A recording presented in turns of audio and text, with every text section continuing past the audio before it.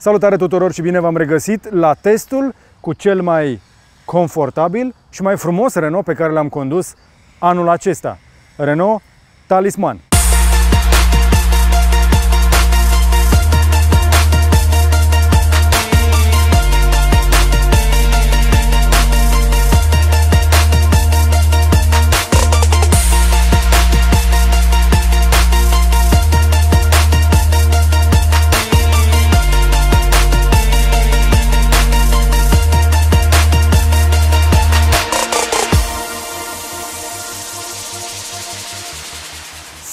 O luăm pe detalii înainte să o conducem.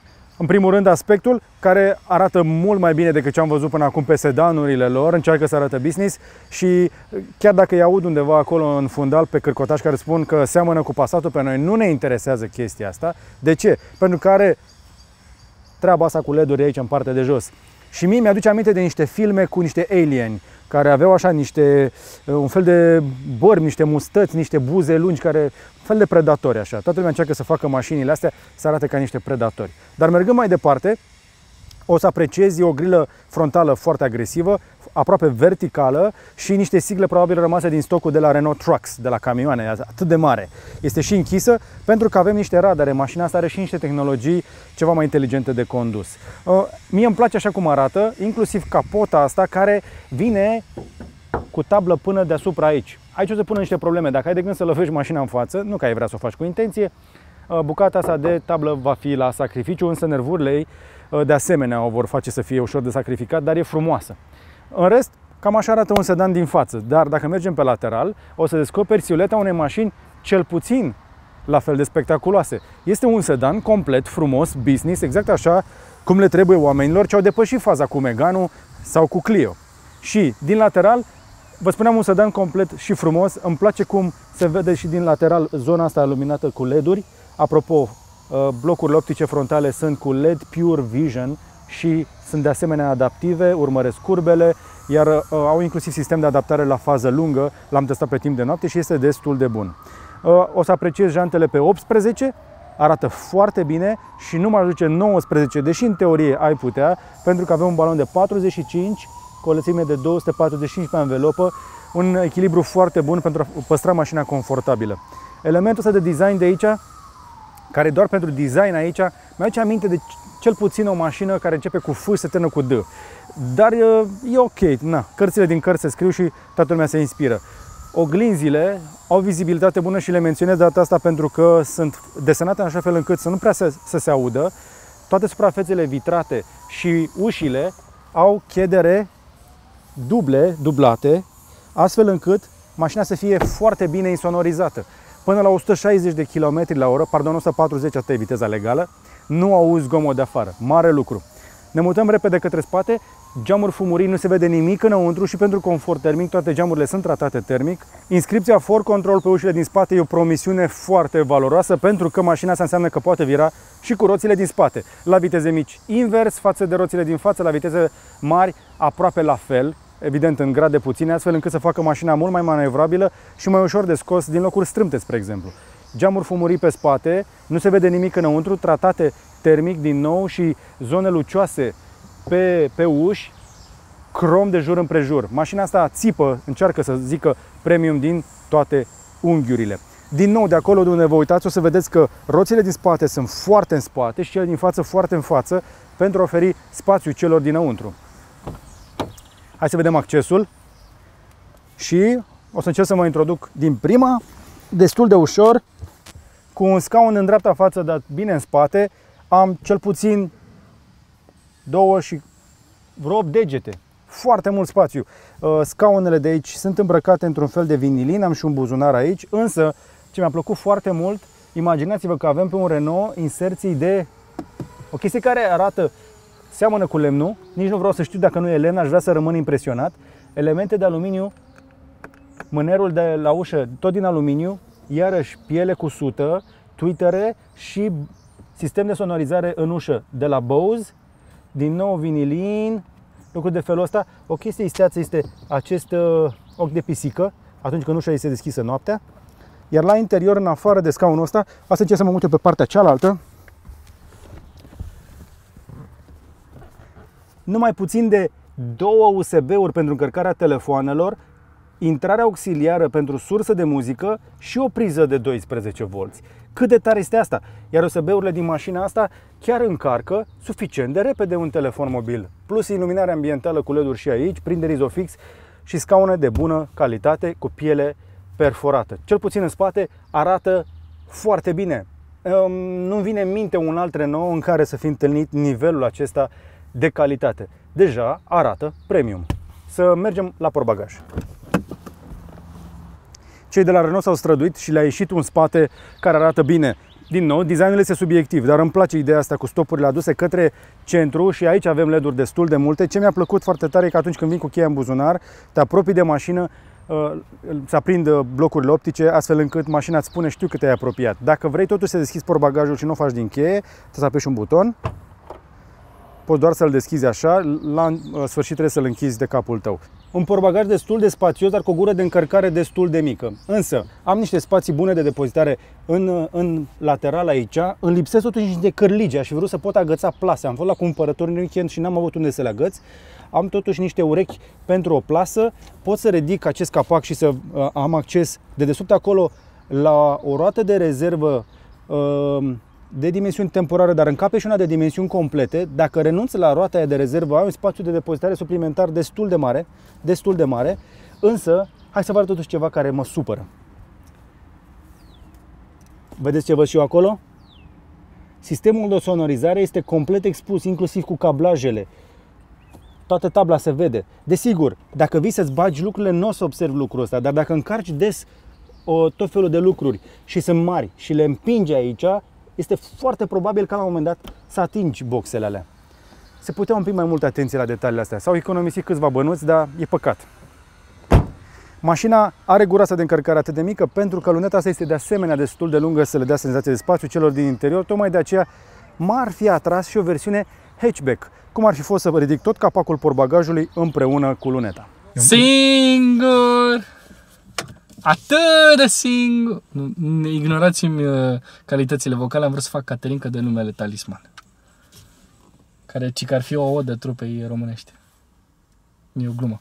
Hai să începem cu cheia pe care am văzut-o prima dată pe cagiar. Piciorul pe frână. Câți ani ai, Marian? 26 de ani. Eu știu că talisman nu mai cântă de 26 de ani sau... Nu, sunt uh, mai... Um... Mă așteptam să nu faci glumere cu talisman. Come on, măcar tu. Dăm cu spatele, iar camera de bună calitate, cu o rezoluție bună, se vede pe jumătate în ecran. Cum se vede și mai bine. De unde ai dat luminozitatea mai mare? Am dat farurile pe auto. Aha. Uite, Uite cât de bine se vede și este și wide, este și clară și îți arată unde să fie roțile. Da, uite și aici văd un, un minus care pe mine m-a deranjat cât am testat mașina asta. Frâna este prea sensibilă și când, uite, faci manevre de genul ăsta la parcare, da? frâna e un fel de on-off. Da. La, la viteze mici, da. Ai și senzor de parcare pe toate părțile, iar în spațiu de genul ai văzut ce ușor ai întors-o? Da. Datorită for control. For control. O să vă mai vorbim despre puțin mai încolo. Bun, hai să pornim la drum. Hai să vedem consumul pe, pe ultimii 487 de kilometri. 8% în condițiile în care am alergat mașina. Și cum am alergat-o? De am mers fulgi. Ea este în stare să facă consumuri de 4 fără probleme, dar am mers pe autostradă blană. Am mers destul de sportiv pe serpentine, nu prea am făcut economie. Uh, are 5 moduri dacă apeși pe floricica asta de aici. Confort personal, astea sunt cele cu floricica, apoi ai sport, eco și neutral. Uh, toate acestea afectează modul în care răspunde motorul pedala de accelerație.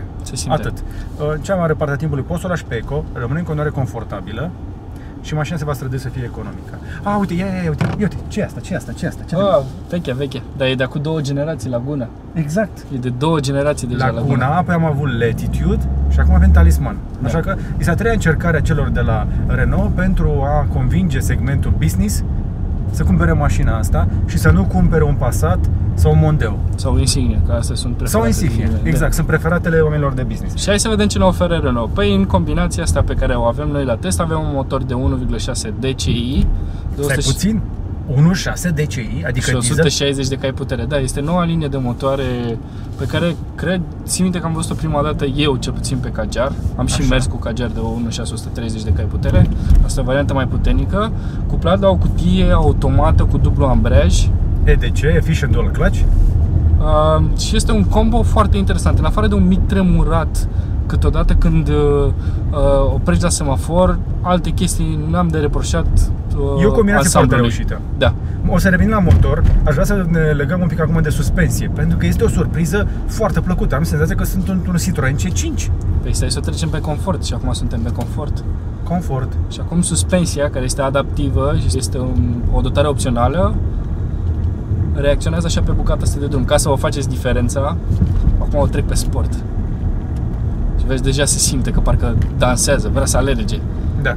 Să trec înapoi pe confort și acum s-a calmat din nou. Mie îmi place foarte mult suspensia mașinii. Este într-o mașină de felul ăsta nu vreau sport. Vreau să fie cât mai soft.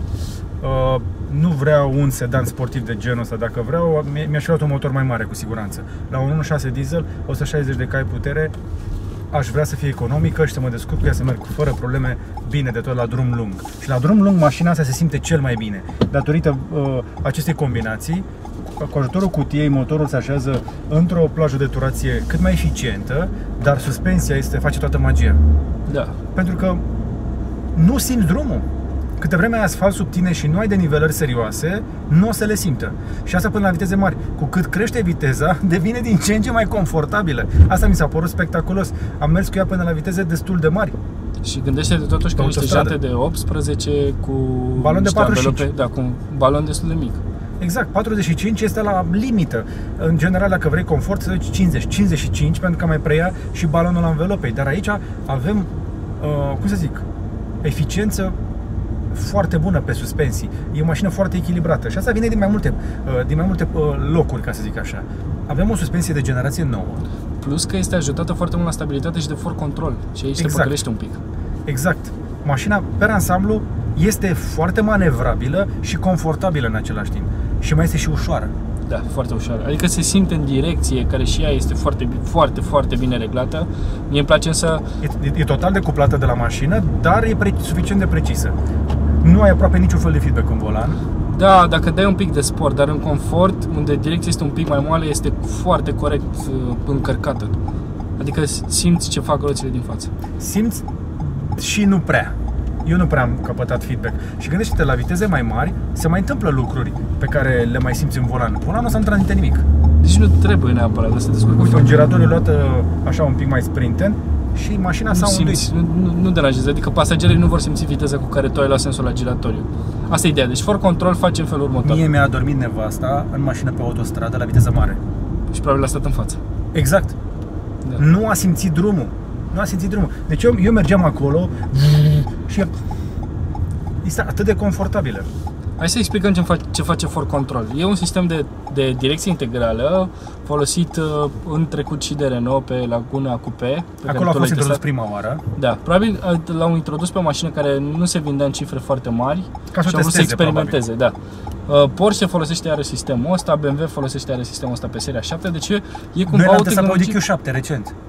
Uh, da, și pe Q7 și pe Porsche, adică e cumva o, o dotare tehnică pe care o găsești pe mașinile foarte scumpe, pe BMW premium. seria 7, iarăși. Da. Este o dotare care vi- începe să vină din ce în ce mai mult și deși inițial am testat-o pe o Laguna Coupe unde nu prea aveam mare nevoie de ea, pentru că mașina era deja suficient de scurtă, aici pe mașini mai lungi începe să-și arate utilitate. Din două puncte de vedere. În primul rând, pe distanțe mici, pe zone înguste, unde ce face? ai o rază de bracare mult mai bună. Pentru că la viteze mici, dacă tu vire stânga, roțile tale se uită în stânga, roțile față, Da? roțile spate sunt ceva de genul ăsta. Se duc în dreapta. Da, și atunci te învârti, exact. e ca Exact. și cum te învârti în loc. Ai senzația aproape că pivotezi în, uh, în, jurul, în jurul axului. Aproape. Aproximativ. La viteze mai mari, nu știu, 30, 40, 50 de km, 130 de km pe oră, o să vireze în același sens cu roțile din față. Așadar, mașina se translatează, cum ar veni, de pe banda ta pe cealaltă, fără ca asta să însemne ca spatele să fie tras după față. Vine împreună cu fața și aproape că ai o senzație de glisare așa, dar e controlată. Bun, am vorbit despre for control, dar trebuie să revenim să le explicăm oamenilor un pic despre motor. Avem un 1.6 diesel de 160 de cai putere.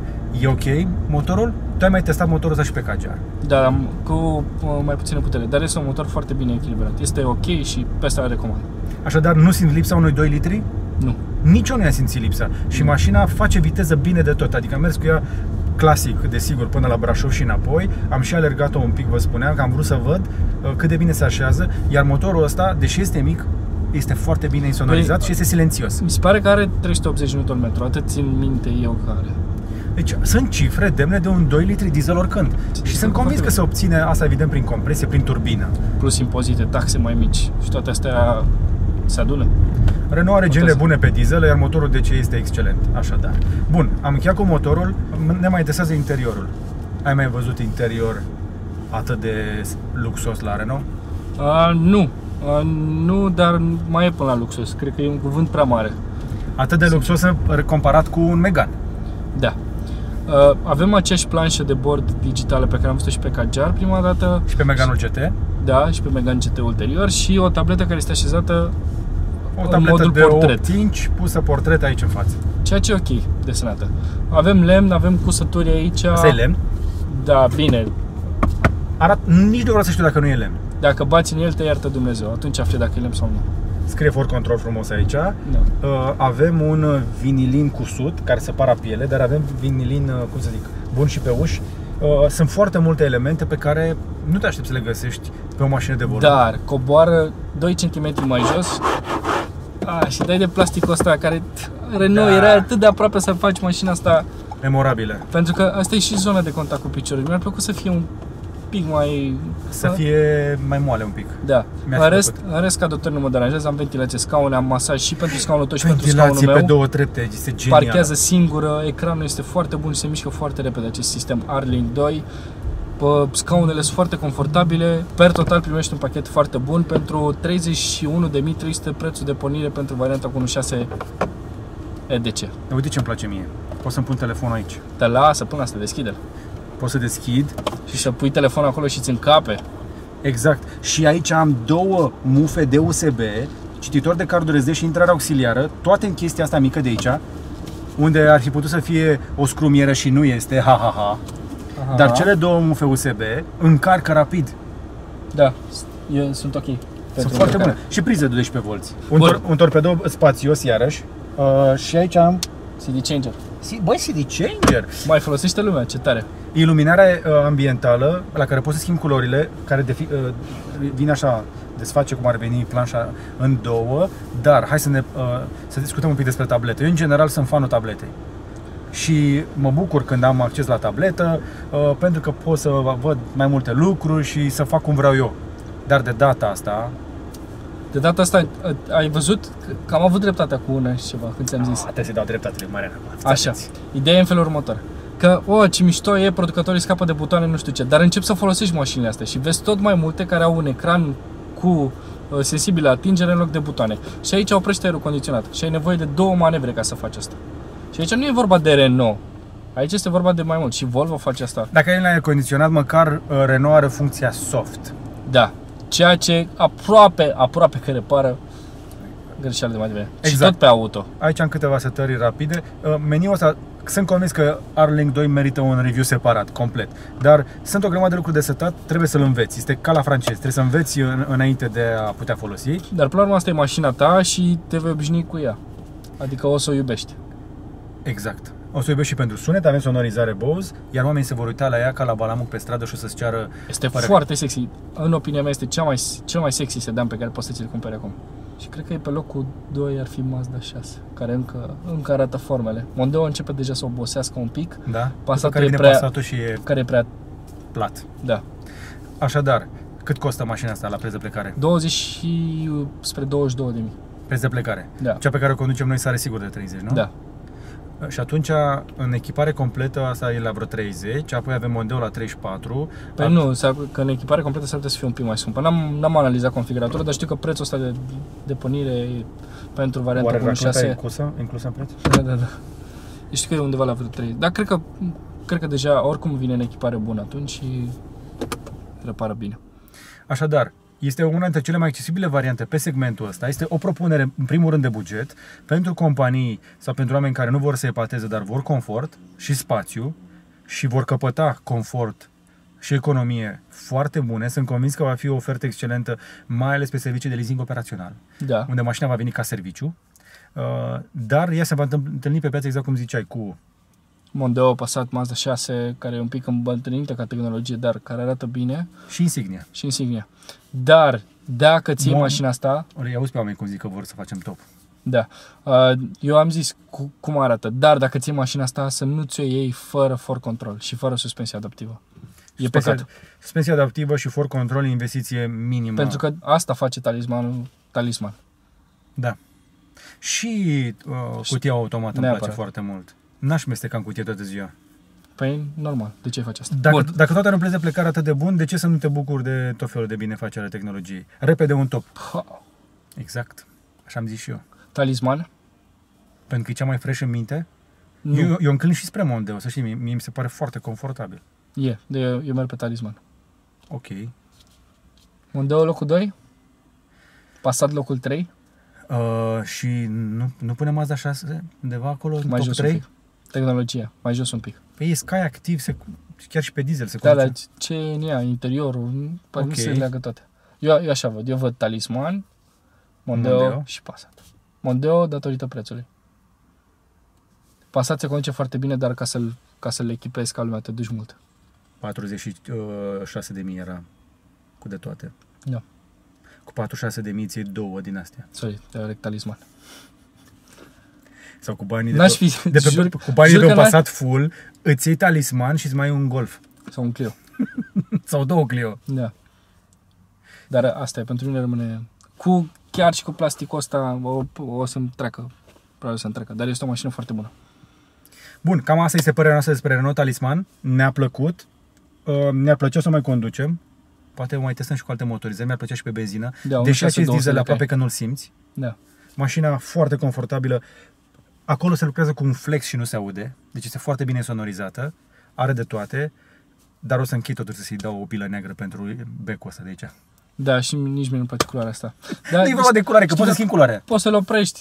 Poți să-l oprești. Trebuie să nu e problemă. cauți în meniu de unde să stingi becul de iluminare Da, da, dacă ambientală ții- care îți bate în ochi Dacă ții noaptea. mașina asta, reglezi o singură dată. Îți bate în ochi noaptea. Asta e, îl oprești. Și când treci de pe confort pe eco sau pe nu știu ce, se aprinde iară. Că se schimbă setul de culori. Păi da, pentru că ai opțiunea să, uite, dacă trec acum în sport, e poți, să, roșu, poți să fac așa configurare în mod curent da, și poți să fac așa lumină ambientă. ambientă. Pac! Și acum o să rămâne salvat pentru toate modurile. Dar trebuie să le faci tu... Hai că e plăcerea omului să descopere singur ce are mașina. Marian, este cazul să faci un review complet pentru Erling 2. Cu altă ocazie. Și până data viitoare, Numai bine. nu uitați să dați un like, share și subscribe, neapărat.